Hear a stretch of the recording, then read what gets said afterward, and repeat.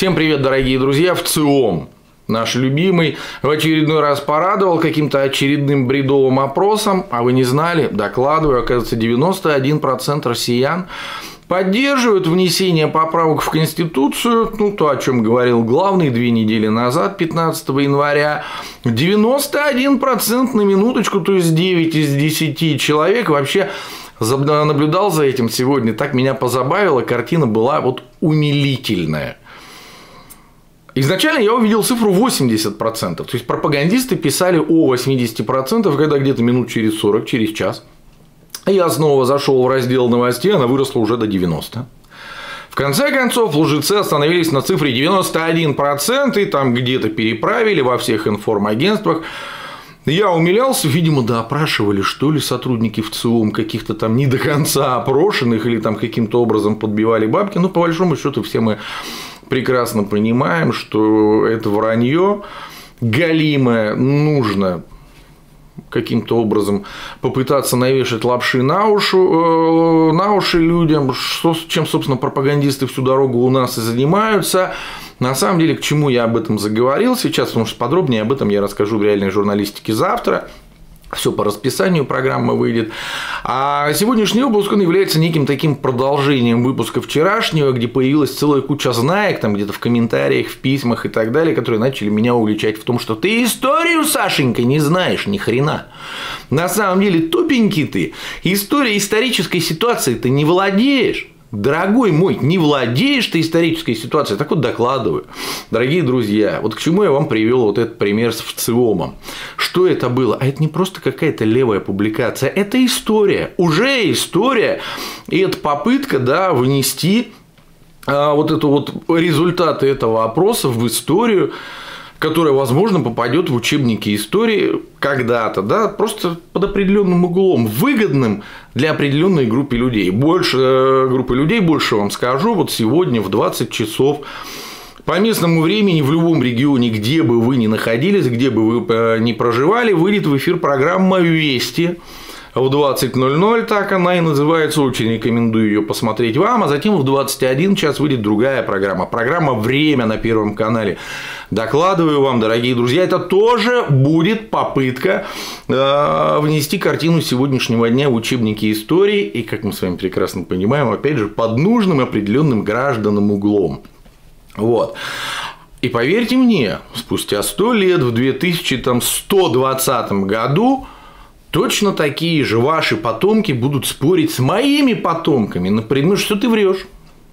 Все вы врете. Мы читали, что там происходило в 2020 году. Мы статьи читали, видели результаты опроса, видели несколько выпусков новостей официальных центральных каналов, где все русским по белому объясняется, что вообще тогда, в 2020 году, русские люди жили как у Христа за пазухой на самом деле – да, они, страна входила в пятерку мощнейших экономик мира, люди там трескали красную икру, там черную, парное мясо, осетрину, запивали все это там коньяком какой-нибудь столетней выдержки, очень дорогим пенсии платились миллионные, начинали их выплачивать еще с десятилетнего возраста и бла-бла-бла, вот у нас есть пруфы, мы их нашли на сайте какого-то там агентства 2020 года и, повторюсь, вот на сайте Первого канала за там такое-то число. Ребят, вот так вот пишется история. Поэтому, когда я читаю вот этих вот типа знаек, которые очень сильно разбираются в истории, меня это улыбает. Начните вы уже наконец думать и включать голову. Да? Вот почему-то, когда мы говорим о дне сегодняшнем, до вас очень хорошо доходит, что такое пропаганда и как она работает. Но когда мы вдруг перемещаемся куда-то на сто лет назад, вы почему-то свято уверены, что вот до Путина Услугами пропагандистов никто никогда не пользовался. Вот вообще никто не знал о существовании пропаганды. Ни большевики об этом не знали, ни кто-то, кто жил в царской России, об этом не знали. Так я вас расстрою. Тогда были точно такие же пропагандисты. История, она всегда, во все времена переписывалась в угоду тем или иным людям. Она всегда переписывалась, исходя из политических интересов на тот момент. Поэтому, когда вы мне говорите, да, я точно знаю, что ты там точно знаешь?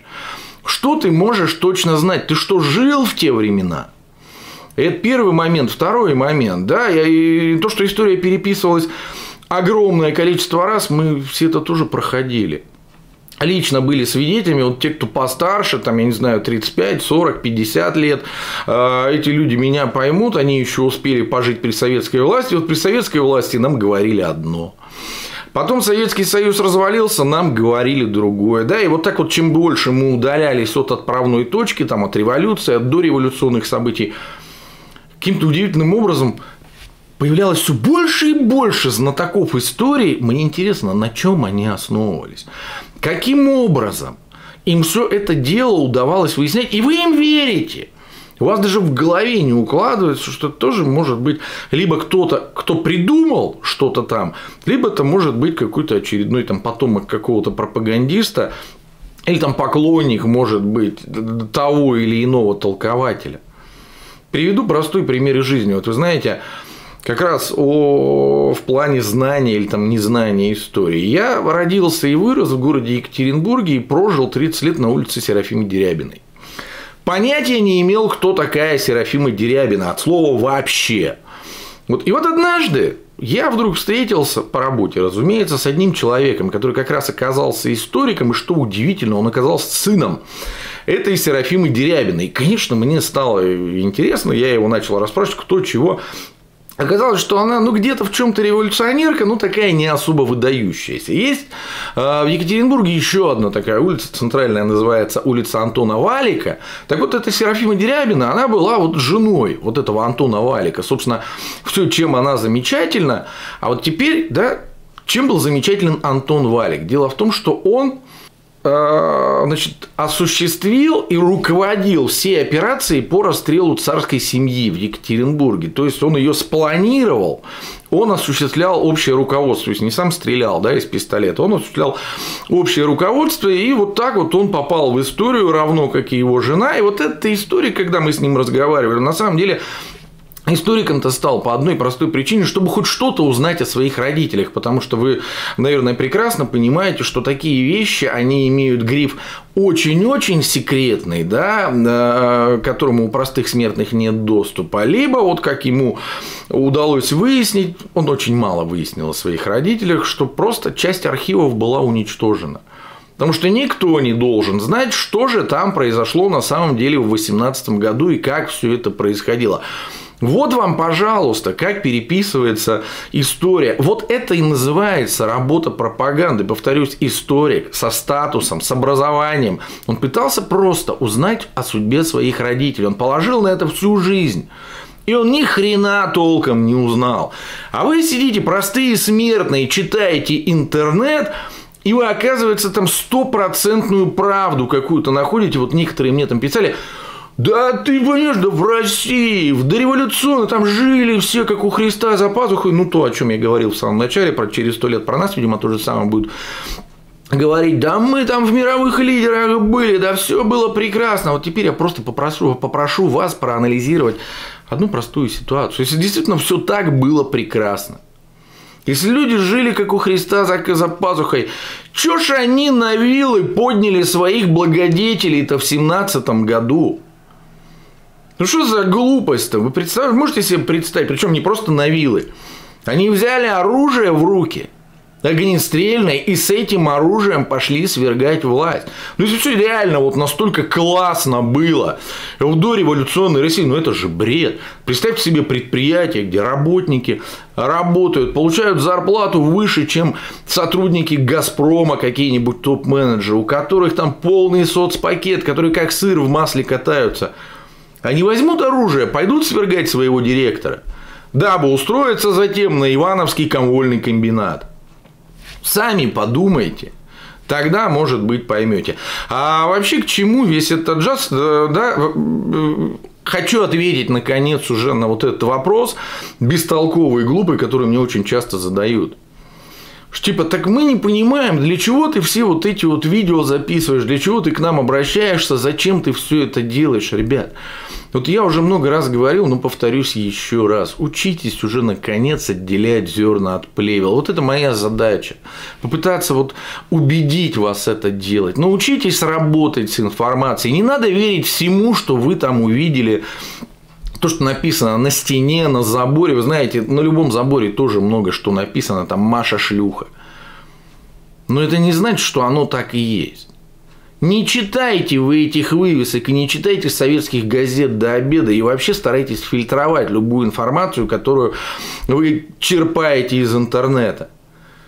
Работайте с ней, анализируйте ее. Вот это первый шаг, который необходимо сделать нашим гражданам. Первый шаг к созданию гражданского общества. И только после этого, когда вы начнете работать, анализировать информацию, когда вы начнете не дядю Васю слушать, а когда вы начнете просто думать, ага, вот здесь вот я что-то увидел, а ну-ка вот я там посмотрю, а вот здесь, а вот покручу-ка я вот этот момент, а сравню вот это вот красное с черным и так далее, вот тогда мы начнем постепенно превращаться в полноценное гражданское общество, когда вы начнете понимать, что вас очень часто обрабатывают пропагандисты, и это делается не только посредством Киселева, Соловьева и Скобеевой. Вот и все. Поэтому, ребят, еще раз говорю, работайте с информацией, а не читайте всякую фигню в интернете. Увидимся, услышимся очень скоро завтра. Реальная журналистика по расписанию. Все, пока. Пока.